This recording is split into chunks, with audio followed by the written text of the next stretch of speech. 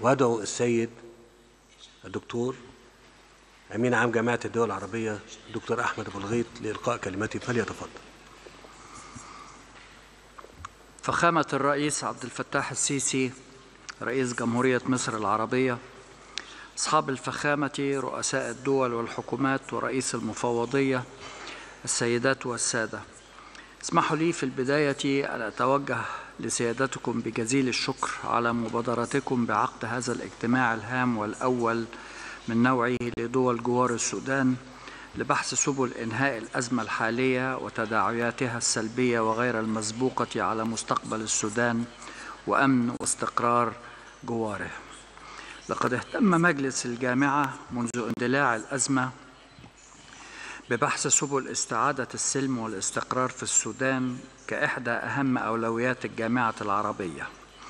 وكررت اجتماعات مجلس الجامعة المنعقدة بشأن السودان بما في ذلك اجتماعات القمة العربية الأخيرة في جدة مطالباتها بضرورة وقف جميع الاشتباكات المسلحة حقنا للدماء وحفاظا على أمن وسلامة المدنيين ومقدرات الشعب السوداني ووحدة أراضيه وسيادته.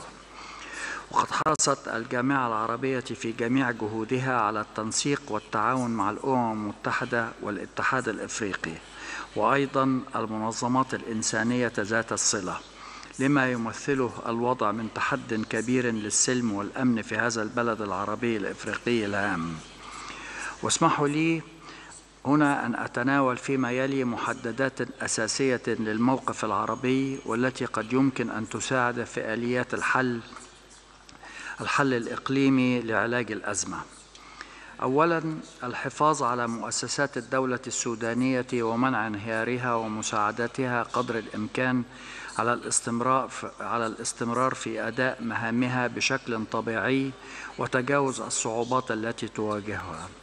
ثانيا معارضة أي تدخل خارجي في الشأن الداخلي السوداني والتضامن الكامل مع السودان في صون سيادته واستقلاله ووحدة إراضيه.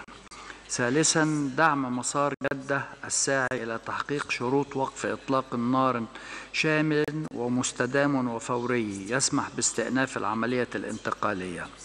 رابعا التأكيد على أهمية دور دول الجوار التي تواجه الأعباء الإنسانية الأمنية الكبيرة للأزمة.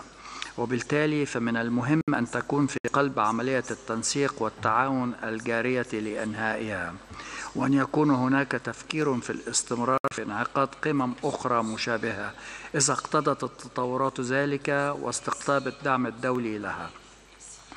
خامسا دعم مسار سياسي سوداني شامل لكل الأطياف السودانية يحقق تطلعات الشعب السوداني في السلام والأمن والتنمية ويؤدي إلى تشكيل حكومة انتقالية قادرة على تحقيق التوافقات المطلوبة لمعالجة القضايا الأساسية وعلى رأسها الأوضاع الاقتصادية والإنسانية وإصلاح قطاع الأمن.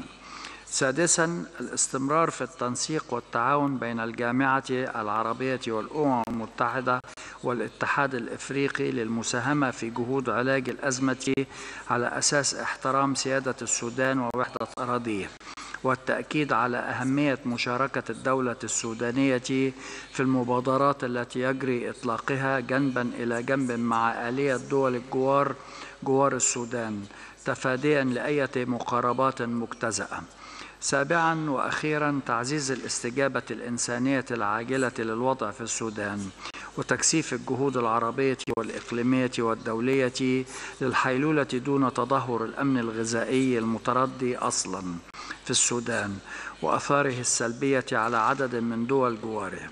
وفي هذا الشأن أذكر أن الجامعة العربية قد أطلقت مبادرة عاجلة لإنقاذ الموسم الزراعي السوداني ويجري حاليا بحث خطوات تنفيذها مع الجانب السوداني وكافة الجهات المعنية والمنظمات الشريكة. ختاما أجدد التزام جامعة الدول العربية بالاستمرار في بذل كافة الجهود التي من شأنها تعزيز الجهود العربية وأيضا الإفريقية لحل الأزمة حقنا لدماء السودانيين وإنقاذا لمستقبل هذا البلد العزيز. شكرا سيادة الرئيس. أشكر السيد أمين عام جامعة الدول العربية